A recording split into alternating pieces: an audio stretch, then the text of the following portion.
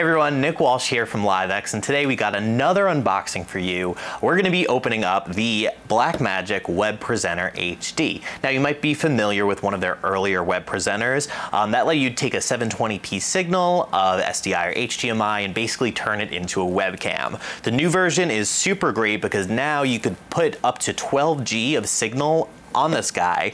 And not only can you still use it over USB as a webcam, but you can also stream it directly to Facebook, YouTube, Twitch, what have you. Um, they also did a lot of great software updates to the ATEM Mini, and they put that on the Blackmagic web presenter, including the ability to send it to an ATEM streaming bridge, which is really cool if you have an internal uh, setup that you're trying to do, like for example, get a program feed to a monitor over a network. So we're really, really excited to have this, um, especially uh, to use with Rivet, uh, which is our SRT um, software for remote contribution. So let's take a look inside.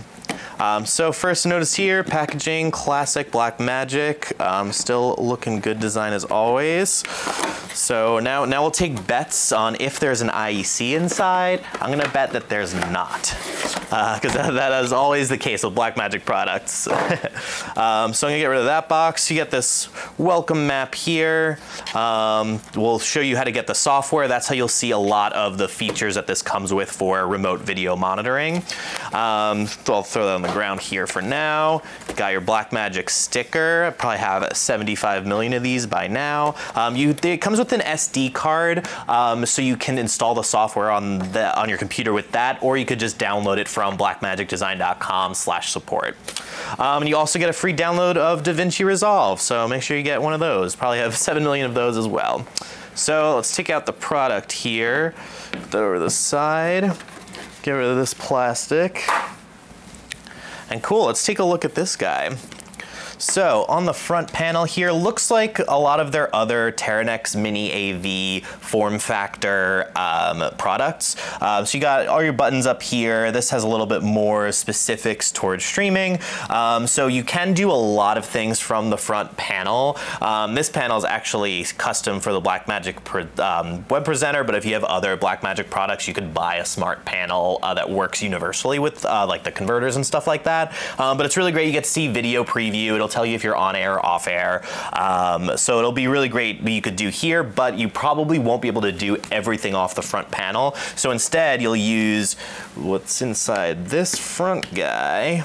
I'll show you on the top camera here. Um, this USB-C slot, it's probably gonna be a little hard to see inside of that uh, because it's probably just a black hole right now, but um, inside there is a USB-C port um, and that's where you'll probably be able to do any software updates or recording or stuff like that. So now let's take a look at the back so we can look at I.O. So over here, oh, it's pretty cool. It has redundant power supplies. So if you're using this as an encoder to Facebook or YouTube or something, that'll be really, really helpful. Uh, obviously, it didn't come in the box, so you'll have to buy that. But um, you'll get either a 12 volt on a 4-pin XLR or a traditional IEC port here. Um, so that's really, really great to have on two different power sources in case you're worried about blowing a circuit or something like that. You'll have the redundancy on this guy. Um, so you also have Ethernet over here. Um, I'm sure there's a you could use any Cat 6, Cat 5 cable for that. Um, it does let you stream up to 1080p 60, so you just need to make sure that you have a good enough internet speed to do that. Um, I know for YouTube, typically we'll send 6 to 8 meg if we're doing 1080p 60, um, so make sure that you have probably double that on your internet speed uh, if you're trying to do a live stream out of your facility.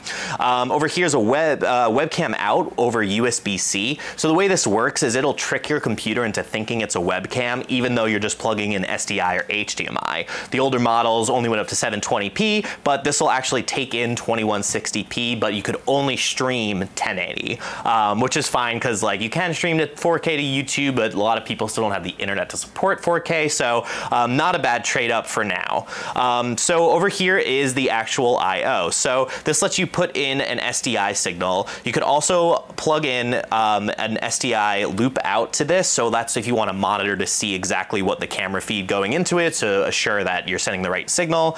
Um, and then it also has this monitor out. Um, so not entirely sure, but um, this SDI or HDMI will probably have the overlays and give you some data for what you're streaming and what signal this is receiving. Um, so that's really, really helpful if you want to double check the uh, closed captioning or if that the audio levels look good. You can actually see that in a monitor that you could put in another multi-view or something to see that you're streaming out the right stuff.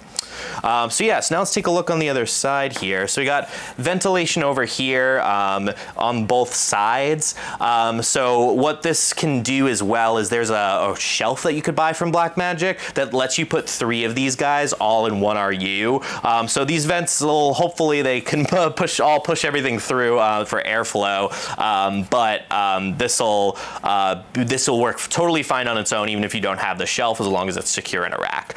and then last but not least are these feet. So if you're um, not using this in a rack or you just want some general slideys, uh, make sure you're not sliding around here, um, you could put these rubber feet on the bottom so that way you could secure it a little bit more. So there you have it, the Blackmagic Web Presenter HD. So if you want to check out more unboxing videos, make sure you hit subscribe and hit the bell to get notified whenever we post a new video, and make sure you come back and check out the rest of our unboxings. Have a good one.